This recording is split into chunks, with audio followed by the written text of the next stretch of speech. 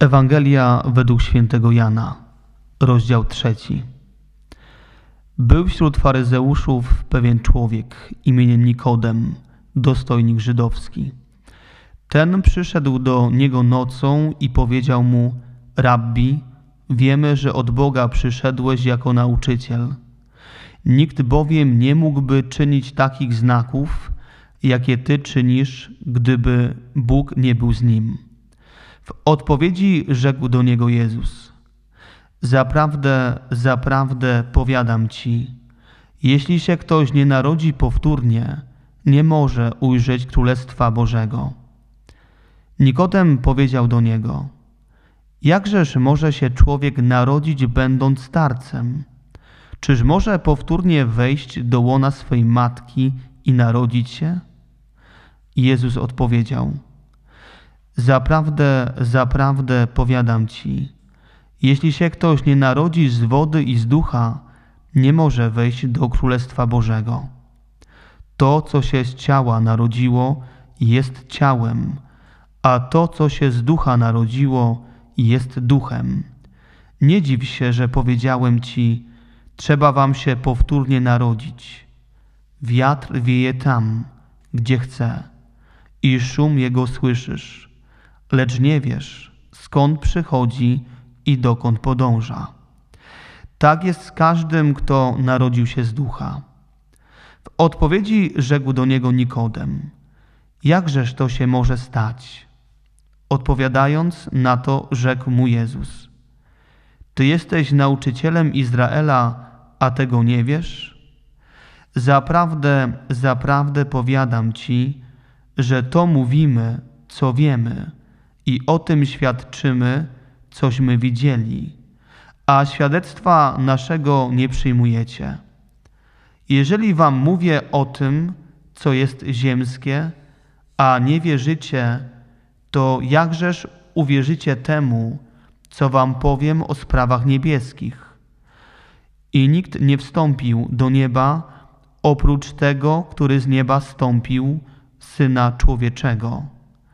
A jak Mojżesz wywyższył węża na pustyni, tak trzeba, by wywyższono Syna Człowieczego, aby każdy, kto w Niego wierzy, miał życie wieczne. Tak bowiem Bóg umiłował świat, że Syna swego jednorodzonego dał, aby każdy, kto w Niego wierzy, nie zginął, ale miał życie wieczne. Albowiem Bóg nie posłał swego Syna na świat po to, aby świat potępił, ale po to, by świat został przez Niego zbawiony. Kto wierzy w Niego, nie podlega potępieniu, a kto nie wierzy, już został potępiony, bo nie uwierzył w imię jednorodzonego Syna Bożego. A sąd polega na tym, że światło przyszło na świat, lecz ludzie bardziej umiłowali ciemność aniżeli światło, bo złe były ich uczynki. Każdy bowiem, kto się dopuszcza nieprawości, nienawidzi światła i nie zbliża się do światła, aby nie potępiono jego uczynków. Kto spełnia wymagania prawdy, zbliża się do światła, aby się okazało, że Jego uczynki są dokonane w Bogu. Potem Jezus i uczniowie Jego udali się do ziemi judzkiej. Tam z nimi przebywał i udzielał chrztu. Także Jan był w Ainion w pobliżu Salim, udzielając chrztu, ponieważ było tam wiele wody. I przychodzili ludzie i przyjmowali chrzest. Nie wtrącono bowiem jeszcze Jana do więzienia. A powstał spór między uczniami Jana a Żydem w sprawie oczyszczenia. Przyszli więc do Jana i powiedzieli do niego: Nauczycielu, oto ten, który był z tobą po drugiej stronie Jordanu i o którym ty wydałeś świadectwo, teraz udziela chrztu i wszyscy idą do niego. Na to Jan odrzekł: Człowiek nie może otrzymać niczego, co by mu nie było dane z nieba. Wy sami jest, jesteście mi świadkami, że powiedziałem: Ja nie jestem Mesjaszem, ale zostałem przed nim posłany.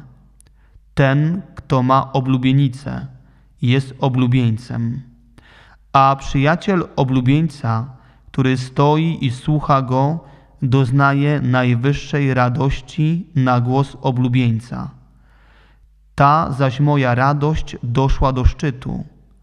Potrzeba, by on wzrastał, a ja się umniejszał.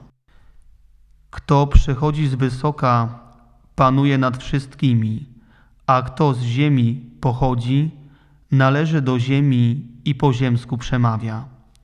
Kto z nieba pochodzi, ten jest nad wszystkimi. Świadczy on o tym, co widział i słyszał, a świadectwa jego nikt nie przyjmuje. Kto przyjął jego świadectwo, wyraźnie potwierdził, że Bóg jest prawdomówny. Ten bowiem, kogo Bóg posłał, mówi słowa Boże, a z niezmierzonej obfitości udziela ducha. Ojciec miłuje syna i wszystko oddał w jego ręce. Kto wierzy w syna, ma życie wieczne. Kto zaś nie wierzy synowi, nie ujrzy życia, lecz grozi mu gniew Boży.